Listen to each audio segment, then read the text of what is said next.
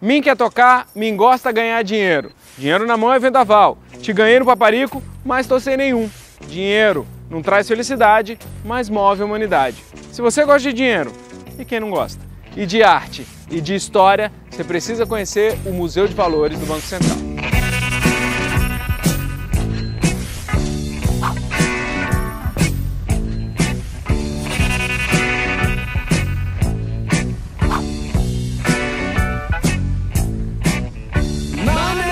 O Banco Central foi criado em 1966, no Rio de Janeiro.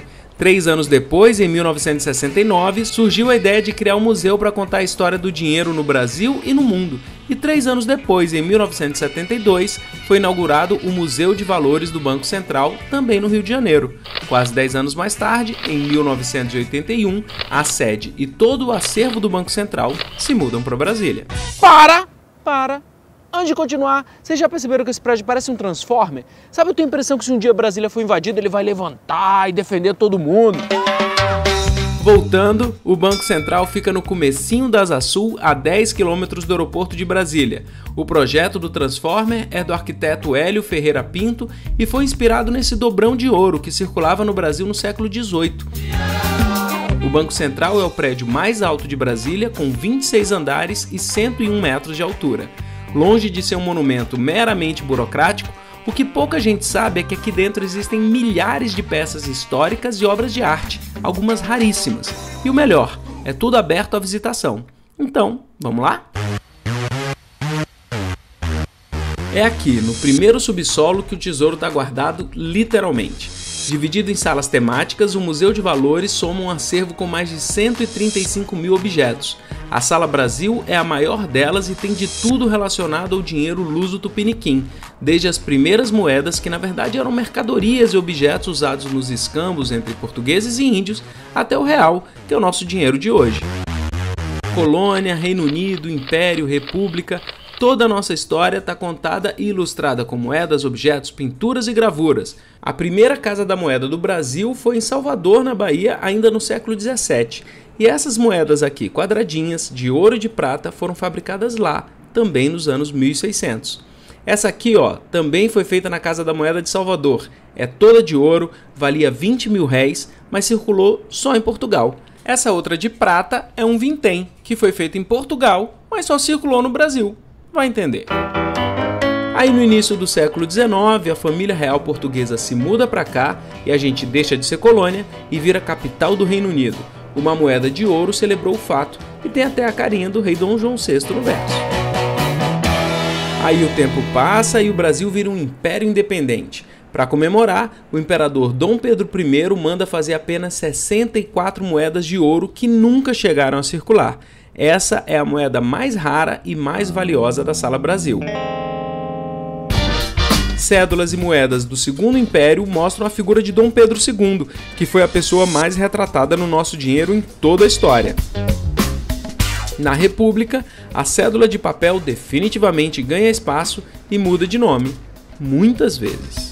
Brasileiros e brasileiras. Agora é vencer ou vencer. O Cruzeiro volta a ser a moeda nacional. O cruzado. Plano Real. Cruzeiro, cruzado, cruzado novo, real, tanto faz, a gente continua duro, menos para quem usa o BRB. O Banco de Brasília cuida do seu dinheiro e faz render. Os melhores especialistas estão aqui para te ajudar a escolher os melhores investimentos. Aí nem precisa esperar o próximo plano econômico, né?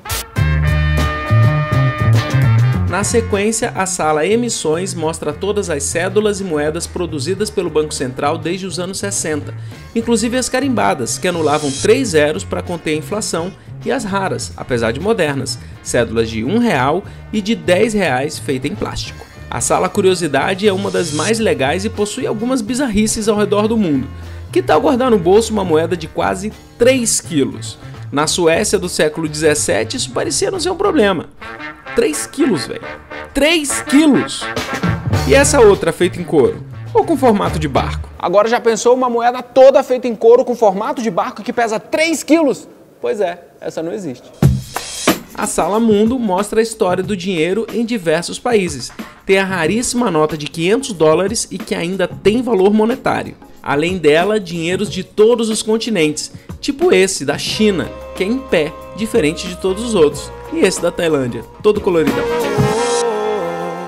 Finalmente, a Sala Ouro. Muito ouro, inshallah. O ouro é formado no interior do planeta em altíssimas temperaturas, e quando aparece é assim, tipo uma pedra comum. Depois de inúmeros tratamentos de limpeza e separação, surge o metal, amarelinho, brilhante, quase sempre em pequenas quantidades. Quase sempre não é sempre. Essa pedra feia e escura é, na verdade, a maior pepita de ouro do mundo em exposição. O nome dela é Canaã e foi descoberta em 1983 no garimpo de Serra Pelada. São pouco mais de 60 quilos em estado bruto, sendo que 90%, ou seja, mais de 50 quilos dela, é ouro puro. E a visita só fica completa no oitavo andar. Na Galeria de Arte é possível encontrar obras de Tarsila do Amaral, Di Cavalcante, Portinari e muitos outros. Elas foram adquiridas como pagamento de processos de instituições financeiras. Em vez de serem vendidas ou leiloadas como os outros bens, as obras de arte ficaram sob responsabilidade do Banco Central como forma de preservar e estimular a produção artística. Ainda bem. Para finalizar, em 1937, o Brasil adquiriu essa belezura alemã que trabalhou por mais de 30 anos fabricando moedas. Hoje ela está aposentada, é só pra gente olhar e admirar mesmo. Já que o assunto é belezura dos anos 30, a Classic 500 da Royal Enfield mantém até hoje o mesmo design do início do século passado e que fez sucesso na Segunda Grande Guerra. É linda demais, né? E é zero bala, com todo o conforto da tecnologia atual e todo o charme de antigamente. O Museu de Valores do Banco Central é público e gratuito. A visitação acontece sempre de terça a sexta, das 9 às 17 horas, em grupos de até 80 pessoas simultaneamente. Gostou? Tá até agora pensando na moeda de 3 quilos, né? Então já sabe, curte, comenta, compartilha, marca um amigo nesse vídeo, segue o Minha Brasília nas redes sociais e me ajuda a contar para o mundo inteiro que Brasília é um tesouro.